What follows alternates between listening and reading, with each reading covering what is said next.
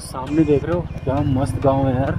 क्योंकि जितनी आगे को हम अब पढ़ते जाएँगे ना, उतना ही रिमोट एरिया शुरू होता जाएगा। मैं जा रहा हूँ हर की दून की ट्रिप के लिए, और ये मेरी सोलो ट्रिप है हर की दून की।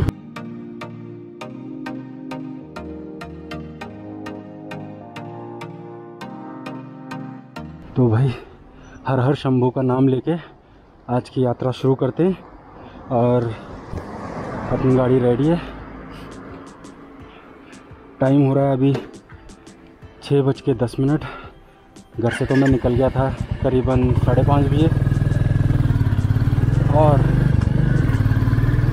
आज हम जा रहे हैं सांकरी या तालुका तक। जैसा भी होगा।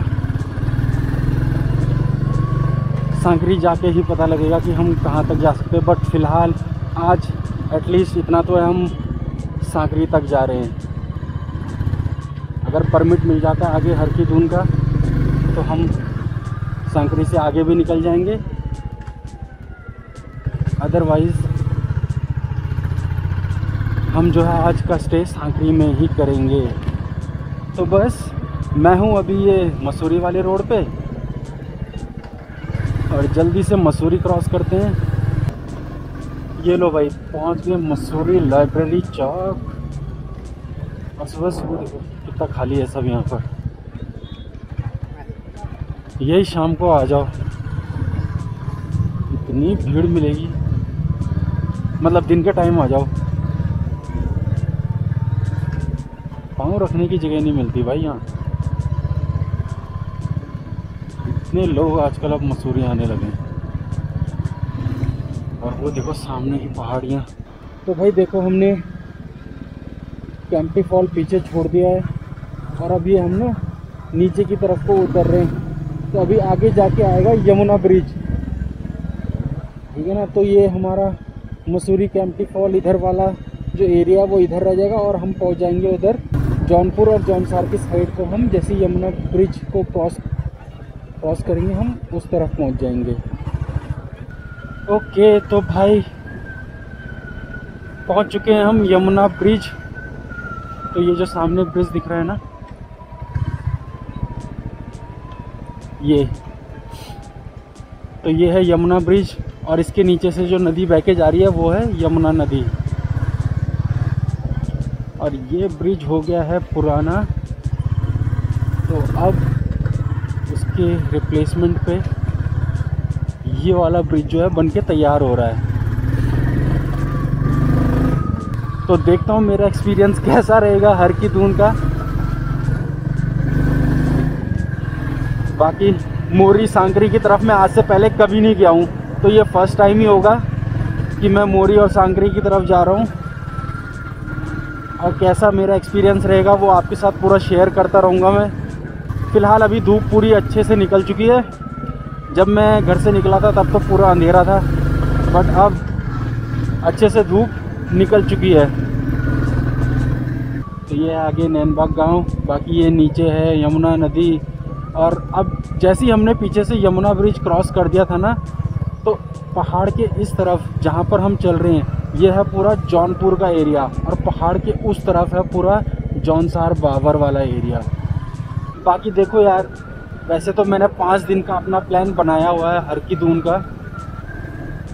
और मैंने पहले ही सब डिसाइड करके रखा हुआ है कि कैसे जाना है, क्या जाना है। बट देखो क्या होता है, कैसे होता है, क्योंकि चीज़ें रियल टाइम में कैसे कितनी एग्जीक्यूट होती है, क्या रहता है सीन वो तो जब मैं जाऊँगा तभी पता लगेगा। बाकी मैं बस अभी यही सोच रहा हूँ कि आज हर की दून का परमिट मिल जाएगा कि नहीं मिल जाएगा। मिल जाए तो अच्छा है। नहीं मिलेगा तो फिर सांकरी में ही आज स्टे करना पड़ेगा।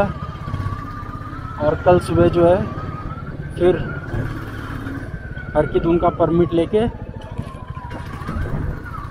तालुका जाके फिर अपनी जो है ट्रैकिंग कल स्टार्ट करनी पड़ेगी। बट अगर मुझे आज ही परमिट मिल जाता है तो फिर जो है ट्रैक मैं आज ही शुरू कर दूँगा।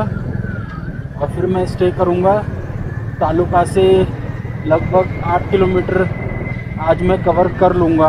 ऐसा मैंने प्लान बनाया है तो मैं गंगाड़ विलेज है, तालुका से आठ किलोमीटर आगे।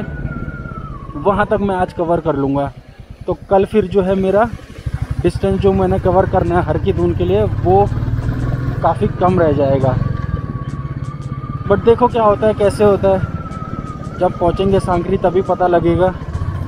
तो ऑल डिपेंड्स ऑन कि आज मुझे परमिट मिलता है कि नहीं मिलता है। धूप की तरफ़ को आ नहीं तो पीछे, पता क्या? पीछे पहाड़ी में 20-25 किलोमीटर से धूप ही नहीं थी। तो वहाँ ठंडा सा लग रहा था, अब धूप पड़ रही है ना इस तरफ़ को तो ठीक है, थोड़ा गर्मी लग रही है। वरना पहाड़ों में अगर धूप ना हो ना जिस एरिया में और हवा चल रही हो तो भैया इतना ठंडा होता है ना कि क्या बताऊँ। बट अब थोड़ा थोड़ा धूप भी पड़ रही है। तो ठीक लग रहा है, उतना ठंडा नहीं लग रहा है। बाकी अब देखो, लाखा मंडल यहाँ पर से, जहाँ पर मैं हूँ डामटा में। डमटा थोड़ा पीछे रह गया, एक आधा किलोमीटर। तो यहाँ पर से लाखा मंडल है, लगभग तेईस से पच्चीस किलोमीटर।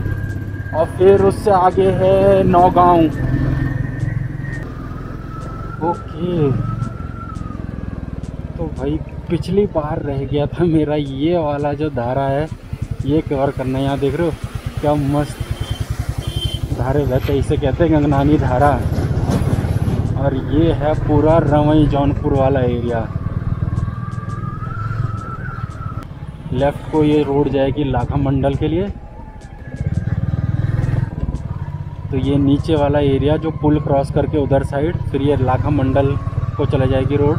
पाँच किलोमीटर के बाद यहाँ से लाखा मंडल जो है स्टार्ट हो जाएगा। ओके तो ये उधर की तरफ़ है पूरा। जौनसार बाबर वाला एरिया। तो लाखा मंडल भी है जो जौनसार बाबर में आता है। बाकी आगे हमें इधर बढ़ते रहना है। जो अगली जो डेस्टिनेशन हमारी वो है नौगांव। लगभग 10-11 किलोमीटर है यहाँ से नौगांव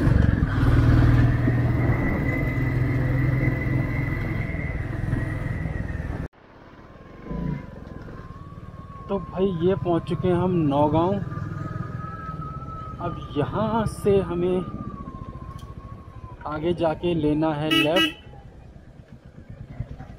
जो रोड जाती है मोरी की तरफ़ को।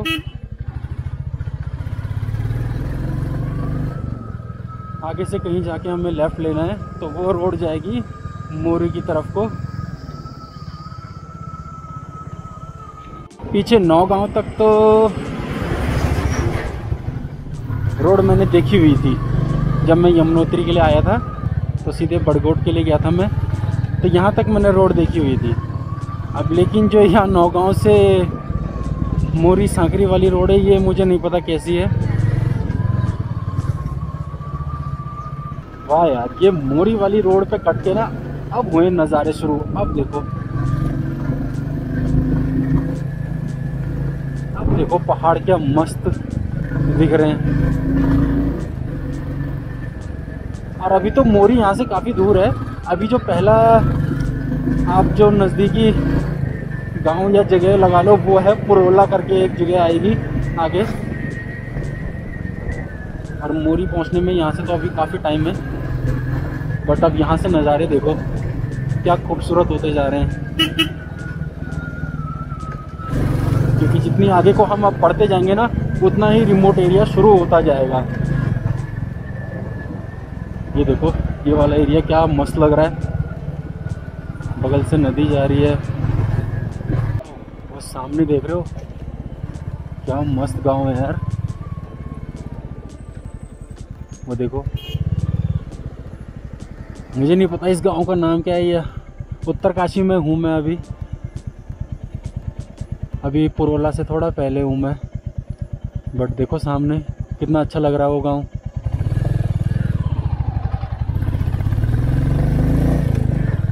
क्या लोकेशन है यार गाँव की? ओके तो ये है भाई पुरोला हम्म काफ़ी बड़ी मार्केट है।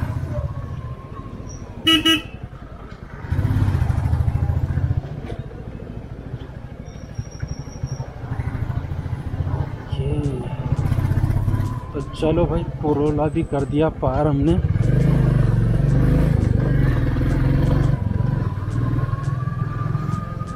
और आगे को बढ़ चुके हैं मोरी के लिए।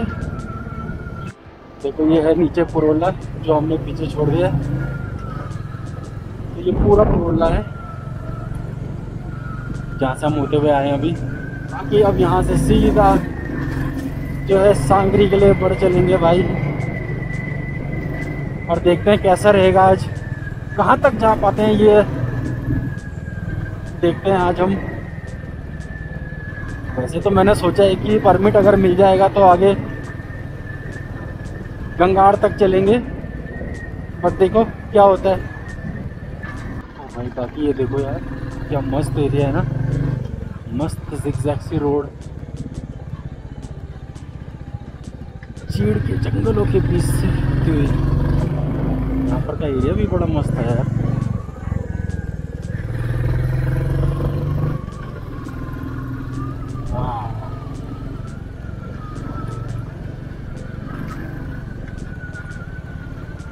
आगे की तरफ़ बढ़ते जा रहे हैं ना।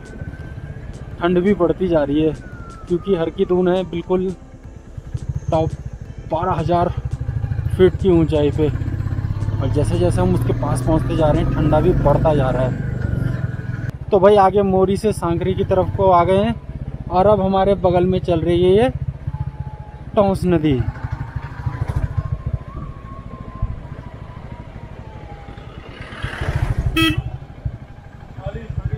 बस अब कुछ बीस एक किलोमीटर यहाँ से सांकरी रह गया है। और टाइम हो चुका है ऑलमोस्ट ग्यारह बज चुके हैं। अभी पाँच एक मिनट बाकी है ग्यारह बजने में। तो सुबह साढ़े पाँच बजे मैंने चलना शुरू किया था घर से और रुकते रुकाते आराम से लगभग ग्यारह बजे तक मैं मोरी पहुँच गया हूँ। अब मुझे लगता है आधा पौना घंटा और मुझे आगे सांकरी पहुँचने में लग जाएगा। बाकी देखो यार, यहाँ का व्यू कितना मस्त है।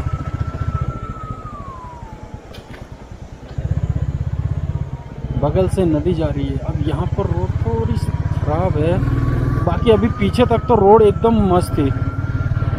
देहरादून से मोरी तक की रोड मुझे एक भी जगह पर ख़राब नहीं मिली। सारी जगह पर रोड एकदम मस्त थी। और यहाँ पर भी मुझे ऐसे ही कुछ लग रहा है कि अच्छा अच्छी रोड होगी। बाकी नज़ारे देखो, इधर पहाड़, फिर ये प्लेन और उधर साइड नदी है। हाय हाय हाय अल्टीमेट व्यू है। भाई, ये तो अल्टीमेट व्यू है। ये वाला व्यू तो मैंने आज तक किसी के भी यूट्यूब चैनल पे नहीं देखा था। क्या मस्त व्यू है यार।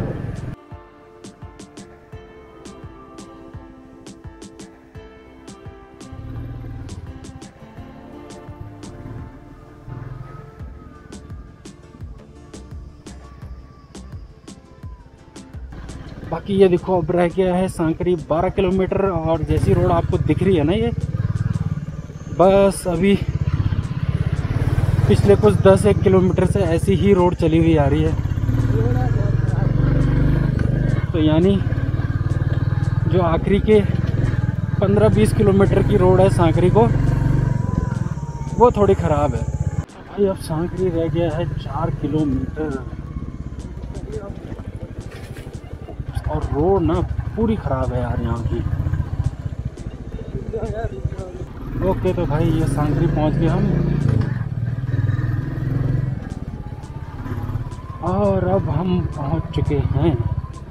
हमने सांक, सांकरी जो है वो क्रॉस कर लिया है और ये है वो फॉरेस्ट डिपार्टमेंट का गेट आई थिंक जहाँ पर से परमिट मिलेगा।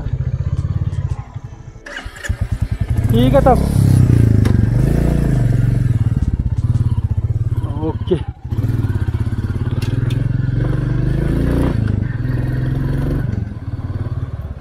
तो भाई यहाँ से निकल चुका हूँ मैं आगे। और अब मुझे पहुँचना है तालुका तो सांकरी। पीछे रह गया।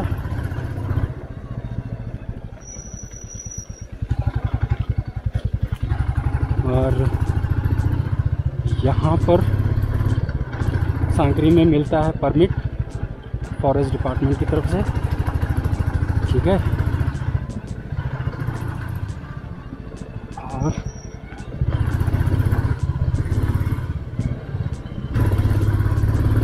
यहाँ से निकलना है। तालुका फटाफट साढ़े बारह ऑलरेडी हो चुके हैं।